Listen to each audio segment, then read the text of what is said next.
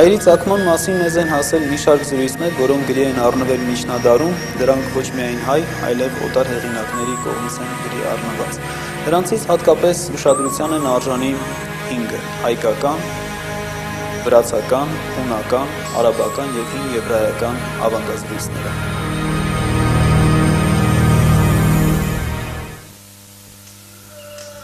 Մեզ հասած հայկական ավանդազրույցը առավել ամբողջական գրի առնվել Մովսես Խորենացու հայոց պատմության մեջ,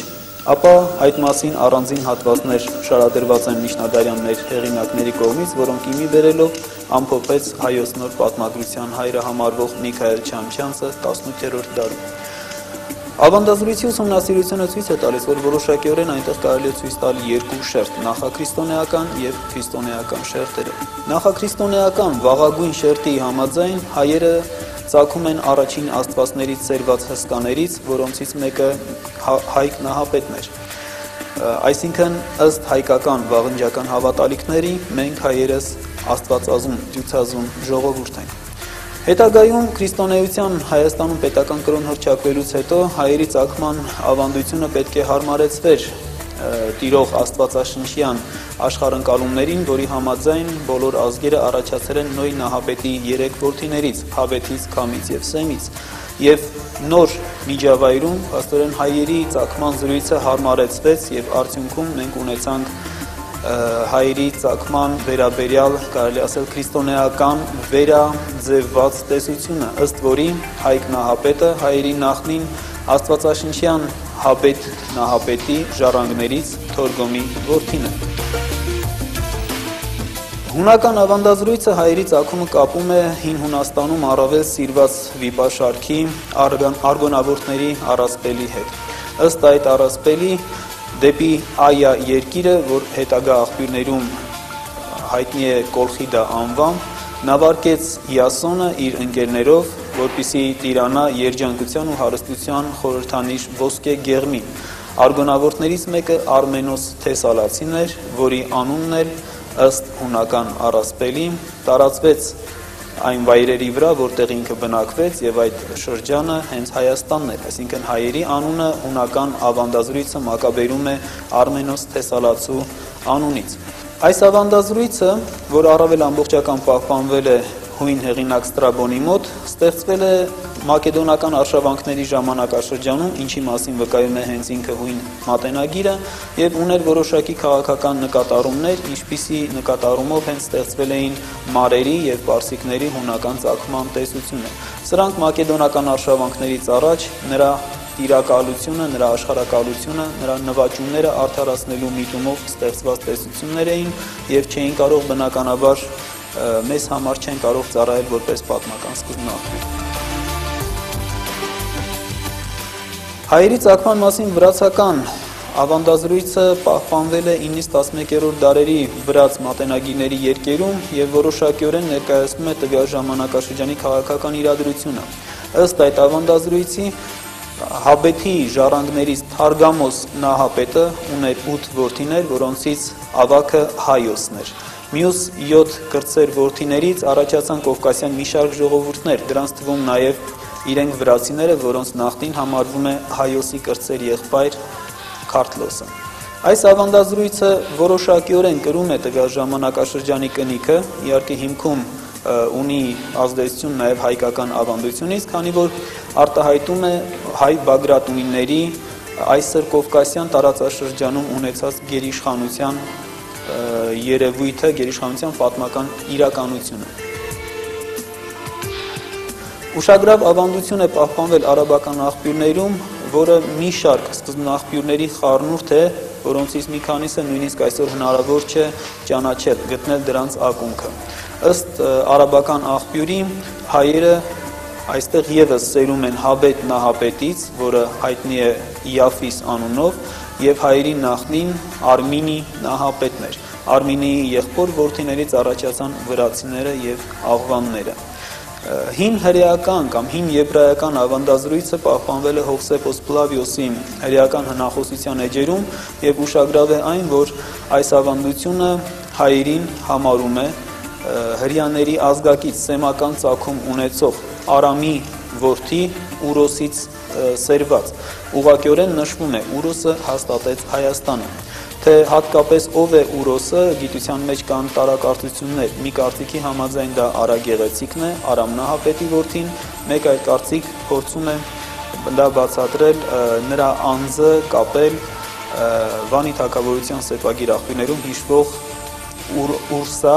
կամ Ռուսա Էրիմենայի որդու հետ։ Բոլոր այս ավանդազրույցները բավականին հետաքրքիր են հայագիտության համար եւ հատկանշական է, որ հայերին իրենց ազգակից են համարում եւ հույները,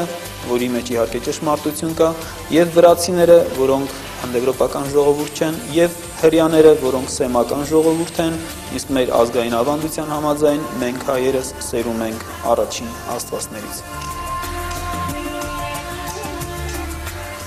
Սկսած 5-րդ դարից պատմագրության մեջ գերիշխում էր Մովսես Խորենացու հայոց պատմության մեջ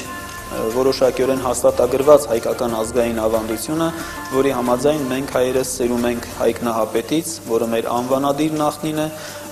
իսկ հայերին տրված օտարների կողմից տրված Արմեն եւ Հայաստանին տրված Արմենիա անունը գալիս է Հայկի ժառանգներից Արամ Նահապետի անունից։ Այս տեսակետը որպես ան վիճելի ճշմարտություն մնաց մինչև 19-րդ դարի վերջերը եւ անգամ ավելի խորացվելով ընդունվում էր որպես դասագրքային ճշմարտություն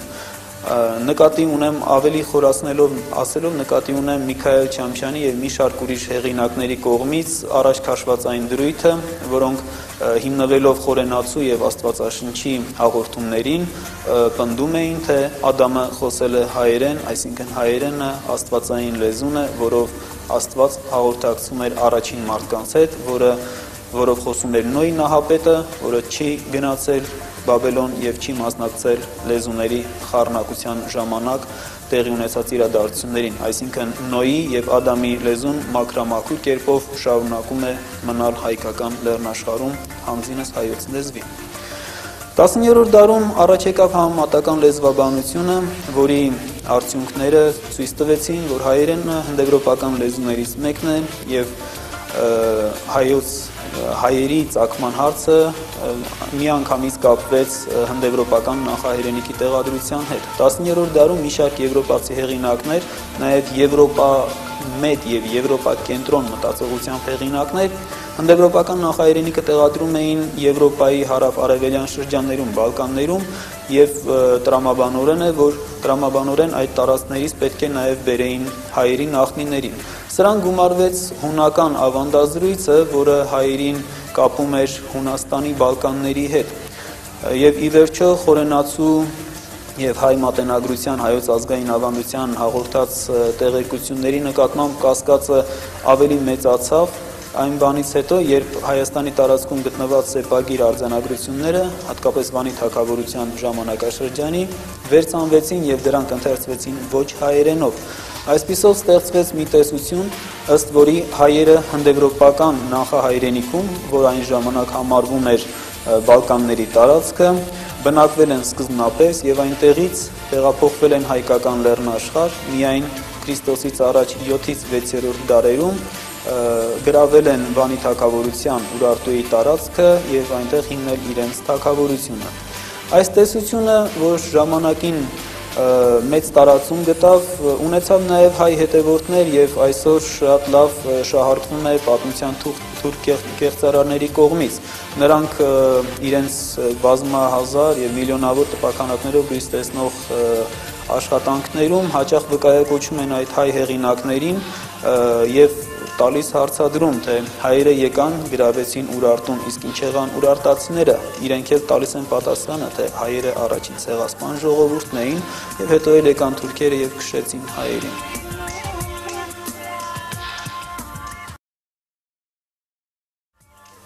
Հնդեվրոպական լեզվաբանության մեջ կային մի շարք սխալներ, որոնք նկատի ունենալով ժամանակին Նիկողայոս Մարը, նաև նրա հետևորդները, որոնցից հատկապես նշանավոր էր Գրիգոր Ղափանցյանը, առաջ քաշեցին մի տեսություն, ըստ որի հայերը հնդեվրոպական ժողովուրդ չեն, այլ առաջացել են տեղում փոքրասիական ժողովուրդների, մի քանի ժողովուրդների միախառնումից եւ տեսությունը ստացավ ասիանիկ ասիական անվանումը։ Այս տեսությունը ժամանակին ընդունվեց խորհրդային միության մեջ որպես պաշտոնական լեզվաբանական գաղափարախոսություն հակադրվելու համար հնդեվրոպականությանը, որը համարվում է բուրժուական տեսություն։ Սակայն տեսությունը ինքը շատ երկար կյանք չունեցավ, որովհետև տեսության դեմ հանդես եկավ ինքը Ստալինը եւ տեսությունը վերացավ անկախ քաղաքական հանգամանքներից պետք է նշել որ տեսությունը իսկապես գիտական քննադատության չէր ենթարկվում որովհետև համաշխարհային պատմության մեջ չկա մի դեպք երբ երկու տարբեր ժողովուրդներ միաձուլվեն եւ առաջանա երրորդ ժողովուրդը միշտ լինում է հիմքում մի ժողովուրդ որին միանում են տարբեր ցեղեր եւ ցեղախմբեր բայց հիմնական ժողովուրդը մնում է ամփոփող Այս տեսությունը մերժվեց 50-ական թվականներին, որից հետո կատարվեց վերադարձ հայերի եկվորության տեսությանը, հնդեվրոպական տեսության լեզվաբանության լույսի ներքո։ Սակայն այդ ընթացքում հայտնի էին դարձել բազմաթիվ փաստեր եւ ուսումնասիրություններ, որոնք որոշակիորեն ցույց էին տալիս, որ հայկական լեռնաշխարհում հայ էթնոսը գոյություն է ունեցել եւ թողել է իր անունները արձանագրությունների մեջ Քրիստոսից առաջ 7-րդ դարից շատ վաղ, առնվազն 9-րդ դարի Վանի թագավորության սեպագրերում բազմաթիվ են հայանուն աստվածների, հայկական տեղանունների եւ անznանունների հիշատակությունները։ Այդ է պատճառը, որ հայերի եկվորության կողմնակիցները ժամանակագրական սահմանը յետ տարան հասցնելով Քրիստոսից առաջ 12-րդ դարին, բայց մնացին իրենց դիրքերում հայերին համարելով եկվոր ոչ տեղաբնիկ ժողովուրդ, որի տակ իհարկե արդեն չէր կարելի չտեսնել քաղաքական որոշակի նկատառումներ։ Քրիստոսից առաջ 12-րդ դարում տեղի էր ունեցել Բալկաններից մեծ, մեծ ներխուժում դեպի առաջավոր Ասիա, որը եգիպտական աղբյուրերում հայտնի է ծովի ժողովուրդների ներխուժում անունով։ Այդ ծովի ժողովուրդների մեջ չկա մեկը, որը հիշվի հայկական որևէ ցեղանունով կամ որևէ անվամբ եւ նոր տեսության կողմնակիցները փորձեցին մուշկերին համարել հայերի նախնիներ զուտ այն պատճառով որ մուշկերի ցեղանվան վերջի մուշկ ցեղանվան քն կարող է լինել հայերեն գրաբարյան հոգնակիակերտը Նման տեսությունը չափազանց անհիմն է, որովհետև մուշկերի լեզվից մեզ գրեթե ոչինչ հայտնի չի, եւ եթե այդ տրամաբանությամբ շարունակեինք, ապա պետք է հայ համարեինք աշխարհի բոլոր այն ժողովուրդներին եւ ցեղերին, որոնց անվանումը վերջանում է քյով։ Այս տեսությունը լիովին իմաստազրկվեց հատկապես այն բանից հետո, երբ Վալերի Խաչատրյանի, Գևորգ Ջահուկյանի եւ այլոց ջանքերով ցույց տրվեց, որ Քրիստոսից առաջ 15-ից 13-րդ դարերում հայկական լեռնաշխարհում բարձրացած հայասա թակավորության լեզուն եղել է վաղնջական հայերենը եւ ոչ միայն լեզուն է եղել վաղնջական հայերենը, այլև մի շարք հարևան ժողովուրդներ կատարել են փոխառություններ, նույնիսկ դիցանումների մակարդակով, ինչպիսին օրինակ Շամթ ամպրոպի աստծո հետ կապված դիցանումն է, որը հայերից անցել է հարևան ժողովուրդների։ Այսպիսով 19-րդ դարում հայերի ցակման հարցում պատմագիտության մեջ սկսված դեգերումները հասան իրենց տրամաբանական վաղճանին եւ վերականգնվեց հայերի տեղաբնիկության հարցը։ Ինչպես է այսօր ներկայանում հայերի ցակման եւ կազմավորման գործընթացը ըստ գիտության այսօրվա տվյալների։ Նախ եւ առաջ այդ հարցում մեզ օգնում է լեզվաբանությունը, ըստ որի Քրիստոսից առաջ 5-ից 4-րդ հազարամյակներում հայկական լեռնաշխարհում սկսվում է հնդեվրոպական ընդհանրության տրոհումը եւ արդեն Քրիստոսից առաջ 4-րդ հազարամյակի վերջին եւ 3-րդի սկզբներին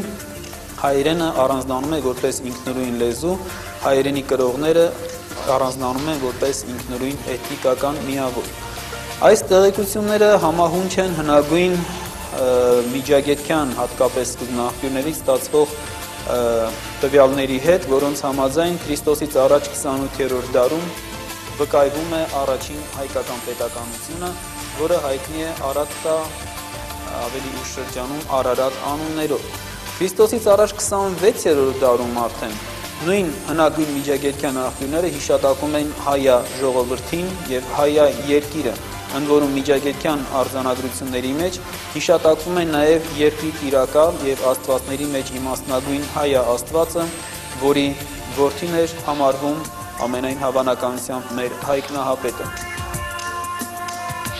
Քրիստոսից առաջ 24-րդ դարից սկսած հնագույն միջագետքյան եւ սիրիական սկզբնաղբյուրներում հիշատակվում է հայերին օտարների կողմից տրված ամենահայտնի անվան Արմեն, Արմենիա անվան նախօրինակները։ Դրանք Քրիստոսից առաջ 24-23-րդ դարերում հիշատակվում են Արման, Արմի, Արմանի, Արմանում եւ այլ տարբերակներով։ Այսինքն իմի բերելով տեսնում ենք, որ Քրիստոսից առաջ 28-ից 24-րդ դարերի սկզբնաղբյուրներում արդեն վկայված են հայերի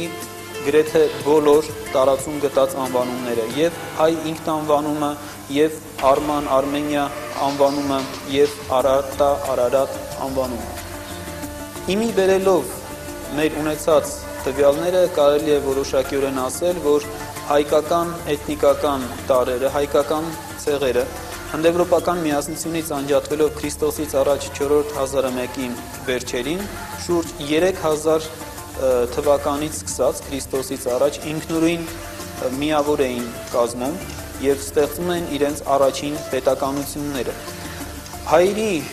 հայկական ցեղերի միավորման եւ որպես մեկ միասնական ժողովուրդ կազմավորվելու գործընթացը տևել է ավելի երկար։ Քրիստոսից առաջ 3-րդ հազարամյակի սկզբից հայերը հայկական ցեղերը անցնում են վաղ պետական կազմավորումների ժամանակաշրջանը եւ թերևս 3-րդ, 2-րդ հազարամյակները հենց հայ ժողովրդի կազմավորման առաջին այդ կարևոր փուլն է իրենից ներկայացնում։ Քրիստոսից առաջ 2-րդ հազարամյակի վերջին եւ հատկապես առաջինի սկզբին հայկական լեռնաշխարհում ապրող մեծ մասամբ հայկական եւ հայալեզու ցեղերը միավորվում են մեկ համահայաստանյան պետականության մեջ եւ համահայաստանյան պետականությունը կերտում, ձևավորում եւ վերջնական տեսքի է բերում հայ ժողովուրդ կոչված հասկացությունը եւ այդ ժամանակվանից սկսած է որ մենք որոշակիորեն կարող ենք խոսել մեր ժողովրդի կազմավորված արդեն վերջնականորեն կազմավորված ժողովրդի մասին իսկ հայերի որպես ինքնուրույն էթնիկական միավորի մասին մենք անշուշտ պետք է նշենք նրա 5000-ամյա տարիքը եւ